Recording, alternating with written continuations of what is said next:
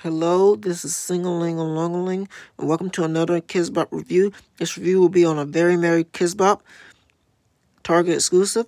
This this CD came out on September the 27th, 2005, which is one of my was was when one of my sisters were born.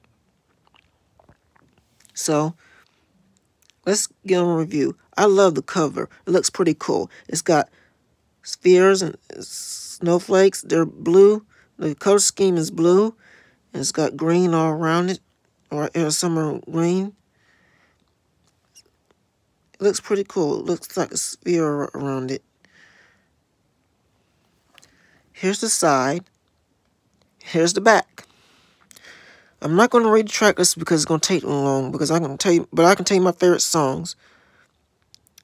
Tracks one through through 8.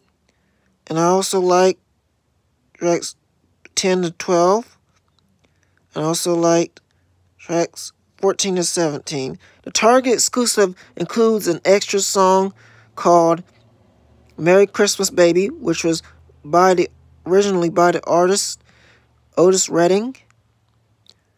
Now, track 16, Go Christmas, is an original song by Kidz Bop.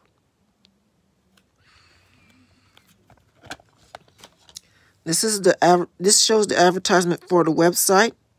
It shows the website and how you can get 200 points. 200 Kidz Bop points. So this is the disc right here. This is the advertisement for the for the original Kidz Bop Christmas album and the website. Please don't forget the to like, comment, and subscribe to my YouTube channel. Thank you. Bye.